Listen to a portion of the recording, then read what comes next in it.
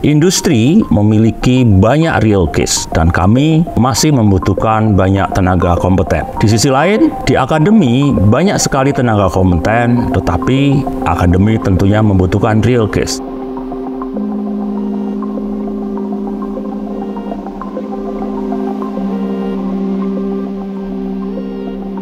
Di kota asal saya di Malang, kesempatan kerjanya khususnya di bidang teknologi ya itu masih cukup sedikit jika dibandingkan dengan kota besar lain seperti Jakarta. Oleh karena itu, saya berpikir bahwa saya perlu mencari pengalaman lain di luar kuliah.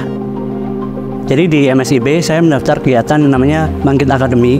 Saya memilih kegiatan itu karena saya melihat kurikulum yang diberikan di program tersebut itu sangat memenuhi standar di industri sekarang.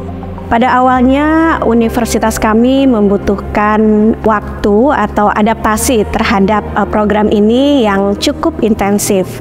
Dan ini dibuktikan dengan adanya komitmen dari semua prodi untuk melakukan konversi atau rekognisi SKS terhadap mahasiswa yang melakukan kegiatan MSIB.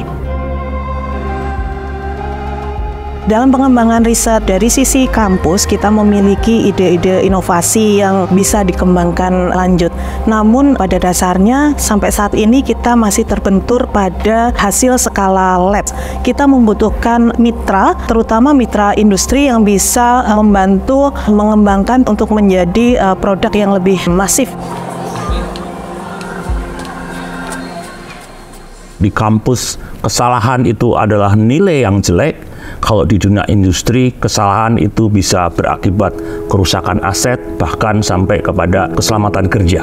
Dengan menjalani program magang, mahasiswa bisa menerapkan ilmunya dalam proyek dan riset di Bank Indonesia. Pengalaman yang mungkin sangat berkesan dalam diriku adalah ketika aku berpartisipasi dalam salah satu campaign besar di Traveloka untuk menentukan strategi pricing maupun skema diskon yang diberikan untuk setiap properti. Banyak sekali kesamaan teori yang aku pelajari di kampus dengan di dunia nyata. Basic dari ilmu aktuaria yang berkaitan dengan logika dan problem solving. Jadi tim kami mengerjakan suatu proyek bernama Salindungi, yaitu aplikasi untuk membantu konservasi binatang langka di Indonesia. Ada satu momen seru di pengerjaan proyek tersebut, yaitu di mana ketika kita hampir memasuki deadline pengerjaan proyek, advisor dari tim kami itu memberikan saran di mana kita perlu menambahkan semacam integrasi proses pembayaran di aplikasi. Jadi dengan tantangan itu kami berhasil mempelajari proses tersebut dalam waktu singkat dan berhasil mengimplementasikan uh, fitur tersebut. Saya mendapat banyak insight baru terkait mungkin dalam hal bisnis karena itu hal yang belum pernah saya pelajari di kampus. Di dua tahun terakhir ini ada lebih dari 3.000 mahasiswa di universitas kami sudah melaksanakan kegiatan program MSID dengan adanya program matching fund ke DRK ini di mana kita bisa bertemu dengan mitra yang memiliki visi searah itu dalam pengembangan produk. Saat ini kami bersama tim itu melakukan inovasi riset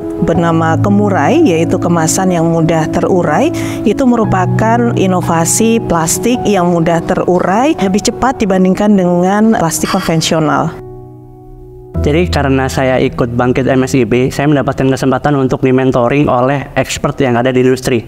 Kebetulan saat itu mentor kelas saya adalah seorang software engineer di Tokopedia yang mana beliau sangat membantu saya dalam proses rekrutmen kerja. Yang mana sampai pada akhirnya saya berhasil lolos pada proses rekrutmen di Tokopedia juga. Saya mendapatkan kesempatan untuk mengikuti suatu sertifikasi global yaitu Associate Cloud Engineer. Dengan memiliki sertifikasi tersebut secara tidak langsung saya mendapatkan added value ketika saya mendaftarkan di tempat kerja saya yang saat ini yaitu di Indodax jadi setelah magang dari Traveloka saya begitu aku langsung di offer oleh perusahaan untuk bisa menjadi full time employees. Di sini sebagai startup ya pastinya growth untuk bisa bertumbuh, aku masih punya ruang untuk belajar banyak hal. Selain itu, benefit yang ditawarkan Traveloka juga sangat-sangat baik untuk seorang fresh graduate. Cakupan dari kampus Merdeka ini adalah dari semua institusi pendidikan dari Sabang sampai Merauke. Sehingga ketika kita memiliki kebutuhan yang cukup luas untuk seluruh Indonesia, kita punya partner yang lebih banyak, pilihannya menjadi lebih banyak. Setelah kita mengupload dokumen pada platform Kedereka ini, kita mendapatkan mitra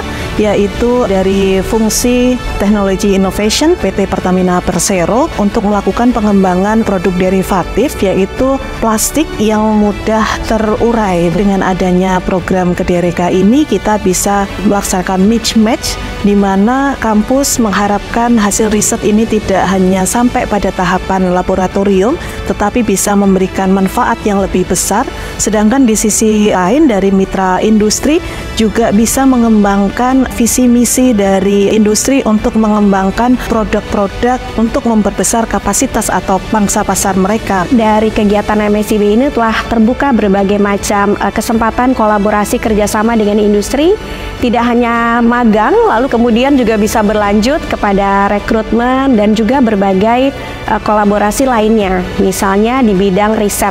Program MSIB ini telah menjadi semacam golden ticket bagi mahasiswa di universitas kami yang memang mengikuti program ini.